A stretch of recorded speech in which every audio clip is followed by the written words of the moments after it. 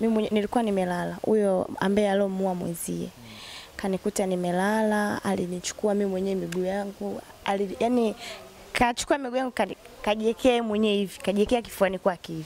Akienda akirudi, anamtamani Jifti, anampiga bastola chini brasa.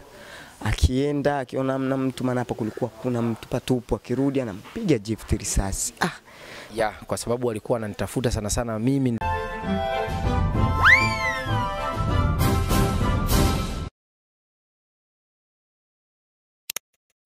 Kila sekunde moja ina thamani kubwa zaidi katika maisha. Hakuna muda wa kuupoteza, bofya subscribe kisha alama ya kengele, tuwe familia moja. Tiki TV kiakili zaidi.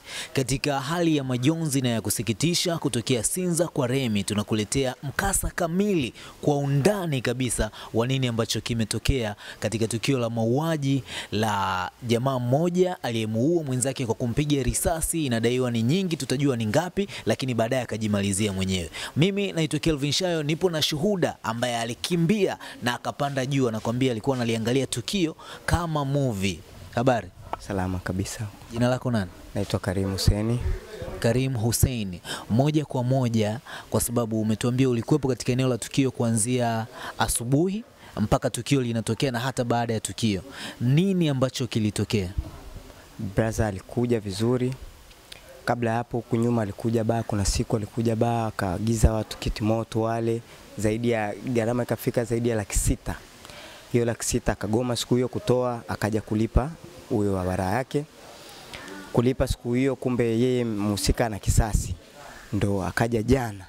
Kuja jana kuingia nje, akakaa nje kwanza, kwa bia zote yeye alikuwa anakunywa nje pale, kapewa bia nje, kanywa bia vizuri, hadi akamsubiri meneja wa baa mwenyewe bosi alikuwa amepaki gari vibaya. Bosi akamwambia Alex, paki gari vizuri, hivyo gari umepaki vibaya. Akamsikiliza meneja yule, akapaki gari vizuri. Mwisho wa siku akamwambia, simenizuia nsiingie ndani? Akamwambia wewe njoo ingia ndani, lakini wacha ukorofi. Kweli akaingia ndani na meneja mwenyewe alikuwa anamnulia bia, anamnulia mwenye baa, anamnulia bia vizuri, wanakunywa wanacheka hapa. Sisa hiyo saa tano hiyo tunafunga gari yake City cover. Tulivyomaliza, ila maneno yake ni ya kijasiri toka muda ule alikuwa anasema natamani ya kumfuta mtu nampoteza mtu dakika sifuri. Yale maneno niko na mwenzangu kila saa akiongea maneno yale anatutisha kidogo, naambia Obama, hapa sio sehemu pazuri pa kukaa. Huyu jamaa leo unaona ameongea sana hili neno, inaweza kuwa ni kweli akafanya hichi tukio. Kweli si tunaendelea na harakati zetu, baa wanaendelea kunywa, mida inaenda mpaka saa nane wanakunywa, lila, anatoa bastola kila muda, anatoa bastola tu, yeye anakoki, anaambiwa na watu hapa asifanye hivyo, anataki kusikia, aelewi, anakuwa mkorofi, anatoa na pipe, anatishia watu, nitakata umeme, nitakata umeme dakika sifuri hapa. Jinsi muda unavyozidi kwenda, sasa kumi na moja kuna jamaa alikuwa amekaa meza hapo pembeni, ni ni afisa afisa akatoa kitambulisho akamwonyesha, akamwambia hichi kitu unachofanya sio kizuri. Yule jamaa akatukana tukana, akamaindi kaka yake alikuwa amekaa naye anaitwa Andrew, akamwambia umewakosea wale watu, inabidi uwafate waombe msamaha. Kweli akamsikiliza kaka yake, akarudi akaomba msamaha, ila alikuwa bado ule msamaha sio, nikaa akasema tu pale. Kweli akatoka pale. Baada hapo kutoka, sijui kitu gani kampanda, akaenda kwa DJ, akamwambia DJ zima mziki Niambia DJ nizime mziki vipi na watu nimekwambia zima mziki akatoa bastola. Sasa DJ akaona bestola, akaona bora azime akazima mziki akarudi huku. Usalama nani? Usalama nani? Ni nchi. Akapiga moja juu kumi moja akapiga ya pili. Eh, sasa kupiga ya pili Zawadi alikuwa amekaa pembeni na Ali.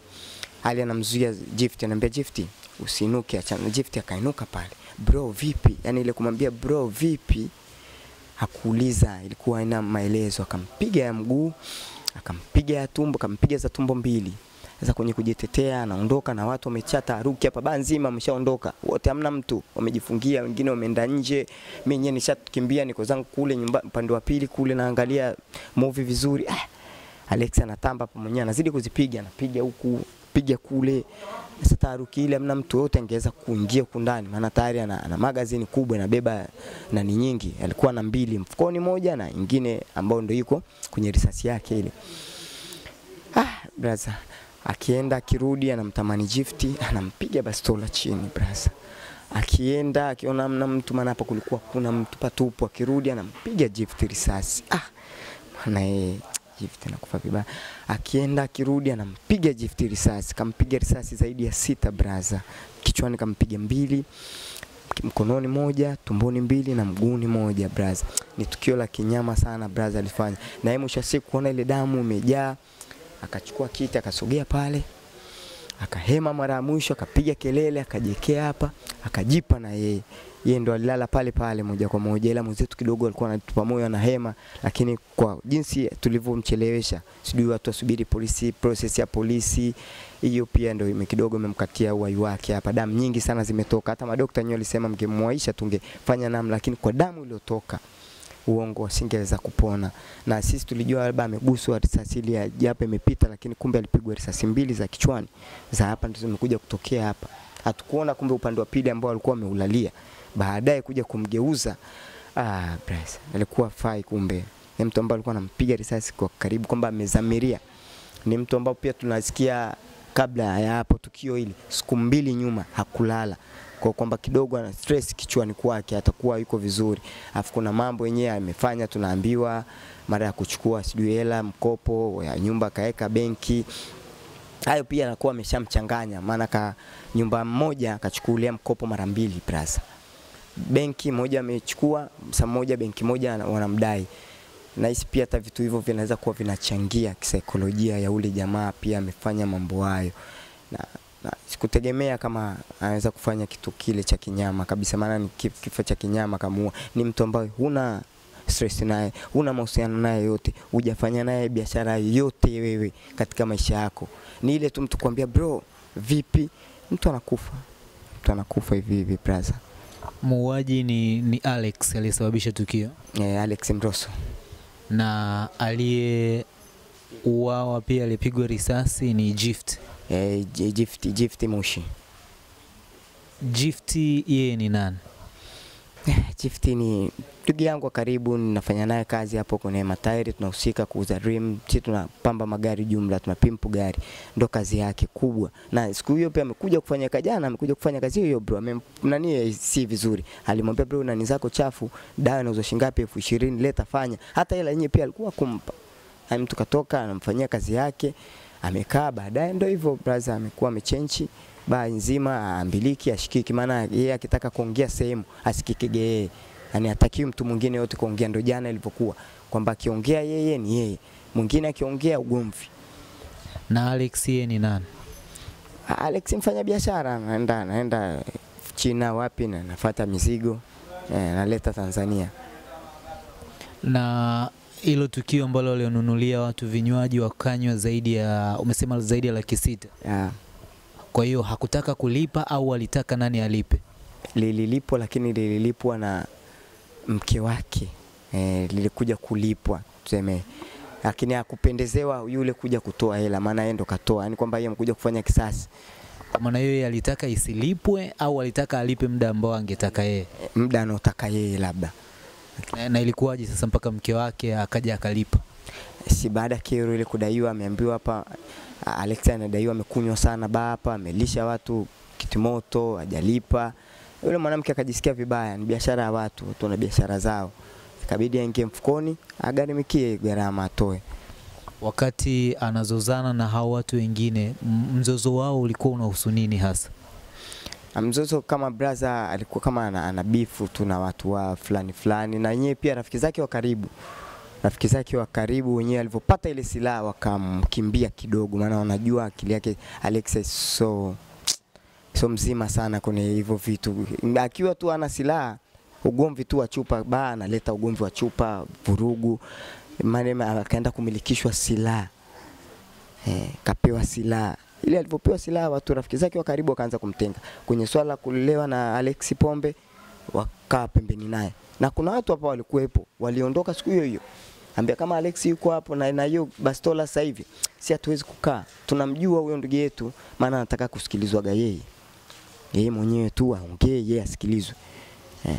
Na wakati anapiga hiyo hizo risasi mbili juu kwa mara ya kwanza kabisa, kabla hata huyo Gift hajaenda akamwambia vipi brother, alikuwa anapiga risasi juu kwa lengo gani? Eh, lengo kwamba ni usalama yule usalama ni nani? Nitaua mtu hapa.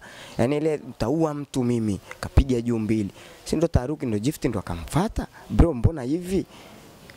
Ndo akamshuti. Ina maana Gift asingemfuata kumuuliza asingekufa? E, inawezekana. Na asingekufa mtu mwingine yoyote, au kuna watu ambao walikuwa wanataka sasa kuwafanyia tukio, sema Gift ndo akawa ametangulia. inawezekana Gift ndo akawa ametangulia kufanya ile tukio maana ile kama amezamiria kutoa hadi kupiga mbili ni kwamba alikuwa anamlenga mtu mwingine. Kwamba angeongea mtu yoyote pale maana amepiga juu. Kwamba mtu yoyote angeongea ndo huyo huyo angemnyokea. Kwa yule alivyotoka ndo akaona ah huyu. Ndo akampiga huyu. Na alikuwa na Lema karibu anamsii sana ambao ndo mlikuwa mnataka mmoja hapa mtafanyana interview pia. Alimwambia Alex ndo alikuwa anamdai pia. Alex acha hii mbona unamuua Gift jamaa sikii Kwa hiyo wakati anamwambia hivyo huyo Lema, yeye hajamgusa, ana, anaelewa kabisa huyo Lema kamwacha, kamwacha. Anamuona kabisa huyu hapa, wala hajakimbia. Lema ndo anainuka anaambia Alex una mbona unamuua Gift ikabidi hali pale aondoke. Naona ameshachanganyikiwa. Anamuona Gift anaenda kule mlangoni. Nguvu zikamuishia akaanguka chini. Basi asante sana kwa, kwa maelezo yako. Kama una chochote cha ziada ambacho unaweza kuiasa jamii kwa mkasa huu ambao umeuona pamoja na serikali, E, mimi kwa upande wa serikali kidogo nampenda kuomba serikali yetu kipindi wanapotoa silaha waangalie pia watu mara mbili mbili. Ndio unaweza ukamkabidhi mtu silaha, kumbe chizi ndo kama hivi kisa na pesa zake. Kweli mtu watu ana hela, watu wanatafuta hela, kweli kapata hela, ndo amilikishwe silaha hivyo. Waangalie akili za watu, wengine akili zao sio nzuri. Upande wa pili, waangalie sana serikali yetu swala la kukabidhi watu silaha. tunaye pia mwanadada hapa ambaye alikuwepo eneo la tukio na anafanya kazi katika sehemu hii ambayo tukio limetokea. Atatuambia jina lake alafu tunaendelea. Ah, mi naitwa Alia Bile. Sawa sawa, Alia, ilikuwaje? Kiukweli mimi siwezi kufahamu kwamba hapa ilikuwaje, maana sisi tulikuwa hapo jirani tu. Mi nafanya kazi hapo saluni, ila tulisikia tu mlio wa risasi. Si tulipuzia tukajua labda chupa ndo zimepasuka, lakini kadri muda unavyozidi kwenda tunasikia bado tu risasi zinapigwa. Baada ya hapo tukaanza kukimbia. Wanaosema kulikuwa kuna mzozo, wengine wanasema ugomvi wa kimapenzi na vitu vingine kama hivyo, Mm-mm, mi ninasema hapana. wengine wanasema madeni. Sidhani, maana alikuwa anazungumziwa mengi, maana hata mimi mwenyewe yule muhusika, maana mimi tulikuwa pale jirani hapo, kuna duka la nguo, mimi nilikuwa nimelala, huyo ambaye alomua mwenzie. Kanikuta nimelala, alinichukua mimi mwenyewe miguu yangu, ali, yani kachukua miguu yangu kajiwekea mwenyewe hivi, kajiwekea kifuani kwake hivi. Wakati huko anazungumzia kwamba "Ah, mimi haiwezekani mtu namdai milioni 30 afu anilipe milioni 15, haiwezekani, bora akampe mtoto wake anunue pipi lakini sisi hatukufuatilia. Ah, baada hapo kaambia bro, bwana, naomba unishushe miguu yangu, akanishusha akaondoka zake. Wakati anakuwekea anachukua miguu yako anaiweka katika mabega yake, alikuwa anasemaje? Ah, leo nimepata mke mwingine, alikuwa ananiambia hivyo. Leo nimepata mke mwingine. Nikamwambia bro, ah, niache niachie bwana, shusha hapana. Hiyo wakati anatoka ananiambia "Ah, njoo unywe bia, nikamwambia hapana, mimi situmii. Hivyo maana hiyo ah, wakati huo alikuwa hana hasira, alikuwa tu kawaida kama utani vile. Hapana, ni mtu yani ambaye alikuwa na hasira, yani yani ambaye ni mtu ambaye hayupo sawa. Unaona kabisa hayupo sawa. Na mdomo inaonekana kabisa alishakuwa ameshakunywa. Kwa hiyo wewe ukakubali tu, baadaye ukatoa tu kistaarabu baada ya kumwelewa hali yake. Yeah, yeah. Siku nijua kabisa huyu hayupo sawa. Kwa hiyo nilikuwa tu mpole. Nikamwambia bro, amna bwana nishushe miguu yangu. Basi akanishusha, akaniambia hapo bwana. Akaondoka. Au wakati huo ulikuwa umeshajua kwamba ana bastola? Ah, sikujua na sikumuona kiukweli kama alikuwa na bastola. Sikujua chochote ila tu nilikuwa mnyonge. Sikujua kama alikuwa na bastola. Basi sawa, asante sana. Aya, sawa, asanteni na nyie. ndivyo yule bwana akavuta bomba ambayo ni bastola ile akaikoki. Wakati anaikoki risasi moja ikadondoka chini. Ah, mimi nikaona kama anatania, mimi nikawa nimeinama nachukua ile silaha kidogo cha kuinama, yule jifti sasa, ambaye ni kijana ambaye tuko naye hapo barabarani, naye alikuwa anakunywa na wale jamaa zake, akawa amenyanyuka anamfuata sasa, anambia bro, mbona sisi tunakubembeleza sana, wewe ni nani? Ndio yule bwana kitendo cha jifti anamfuata tu, akampiga risasi tatu. akampiga kwenye paja, akampiga na mbili tumboni. He, mimi nilivyona kile kitu kwa sababu nakifanya niko pale. Nikabidi nitoke mimi spidi, nikakimbia. Tukawa tumeingia ndani kwa tumejificha. Kuna sehemu hiyo hapo. Kwa it means kwamba nikiwa ndani naona nje. Watu wote kuna watu kibao wakakimbia bike kabaki nyeupe kama unavyoona hivi. Je, jamaa akawa sasa anatamba, anazunguka kwenye ibaka, toka mpaka nje kule. Akawa anapiga tu risasi juu, anapiga tu risasi juu. Eh. Akatoka kule akarudi mpaka akaingia ndani akasimama pale. Mimi namwangalia. Huyo akaja akazunguka akarudi tena ile eneo ambapo alifanya tukio. Wakati anafika pale akamkuta yule mshikaji ambaye alipigwa risasi, yule ambaye alimpiga risasi tatu. Mshikaji alijaribu kujiokoa, akawa anakimbia. Kulikuwa kuna mlango wa nyuma huku. Kufika yule mshikaji, yule mlango anausukuma, ulikuwa ule mlango tayari umeshafu, wahudumu walijifungia ndani, kwa akashindwa kusukuma ule mlango. Kwa jamaa akamfuata tena, kumfuata pale akampiga tena risasi tatu za kichwa na moja ya mkononi. Kwa ujumla alimpiga risasi sita. Baada ya kumaliza kile kitendo, akarudi zake akaenda akakaa kwenye ile kona ambapo alikuwa amekaa mwanzo pale. Yeye mwenyewe akapiga yowe moja tu. Akajiwekea gani? Akajifyatua, akajipasua, akaji- alipiga risasi hapa. Kwenye koromeo ikaja ikatokea huko. Ndio mwe- mwisho umeisha hapo. Poleni sana kwanza. Ya, tumeshapoa. Sababu kubwa ni hiyo tu ama kuna kitu kingine nyuma yake? sababu hakuna kitu kingine, kwa sababu hata huyo aliyeuliwa ana alikuwa kwanza ana mazoea na huyo jamaa na wala wafahamiani, ila jamaa tu aliamua kufanya kwa kitu basi. Kuna watu wanahusianisha tukio na masuala ya dhulma, hiyo imekaaje? Hakuna hakuna dhuluma yoyote. Sana sana yeye marehemu ndo tulikuwa tunamdai sisi, kwa sababu tulimfungia stikavu. Na inasemekana kwamba wewe alikuwa anakusikiliza sana kiasi kwamba hata kama ungebaki katika eneo la tukio wakati ule akipiga risasi, pengine wewe asingeweza kukudhuru kwa sababu mlikuwa mnaelewana sana. Ah, kuelewana, maelewano yapo. Sasa maelewano, baba, mtu akishatoa tena bunduki kunakuwa maelewano tena. Mimi niliona tu mtu akishakuwa vile kichwa kinabadilika. Maamuzi niliyofanya mimi nilikimbia tu. Ile risasi ambayo uliokota ulipeleka wapi? niliwakabidhi wa- nani, ah, nani wazee walivyokuja tuliwakabidhi polisi. Kwa maana hiyo aliporudi kuja kummalizia gift kule, shida bado ni hasira za kutafuta watu wengine. Ya, kwa sababu alikuwa wananitafuta sana sana, mimi ndio ambaye nilikuwa na funguo yake ya gari. Baada ya kufanya kile kitendo, alienda nje, mimi nilikuwa nafunga stika kwenye gari na nikakabidhiwa funguo kwamba siwezi mpa funguo mpaka nilipe. Ya, kufungua mlango ukawa umefungwa, ndo akaanza sasa, funguo nimempatia nani? Ndio kile kitendo cha kurudi tena ndani. Kwa maana hiyo kwenye gari pengine huenda angekimbia na asingejimalizia. ya ina maana ile ingekuwa nafungua ingeingia kwenye gari tusingejua wa mbele angetokea nini huko. Baada ya hapo tukio likatokea, funguo kabaki nazo. Ya funguo libaki nazo, of course walivyokuja askari na msichana wake, si ni girlfriend wake, si ni mke wake. Kuna brother ambaye ndo kaka yetu ambaye tulikuwa naye hapa yeye ndo akaniita akamwambia, bwana, mkabidhi funguo huyo dada, nikampa hivyo. Kwa hiyo cha mwisho kabisa kilichotokea hapo wewe kabla ya kwenda kulala ni kitu gani? Cha mwisho hapa ni miili ilibebwa, kwa sababu tulimpeka mwili wa kwanza ya Gift, tulikuwa tunamkimbiza ili kupambania uhai wake, lakini ilishindikana, alifariki hapo hospitali Palestina, na mwisho kwenda kumbeba ule bwana kumpeleka mochwari na Mwimbili. Kupitia tukio hili ukiwa kama moja ya shuhuda wa mwanzo mpaka mwisho wa tukio, umegundua kitu gani? Mimi nilichogundua sisi kama sisi kwanza vijana tujitambue, tunapomilikishwa silaha tujue kile ni kitu cha moto na kinapaswa kuheshimika, na ndio maana hata unapokabidhiwa unakabidhiwa na jamhuri, ukifahamika kwamba wewe uko timamu na uko kamili na una tatizo lolote. Lakini mimi cha kushangaza jana, yule jamaa sijui silaha hiyo amepata, kwa sababu mimi naona kichwa chake sio kizima mwanzo tu huko alikuwa anatoaga kila siku ni, yani alitangia nunue bastola ni kila mtu anayekutana naye ni kumuonyesha, kila mtu anayekutana naye anasema ni kumuonyesha.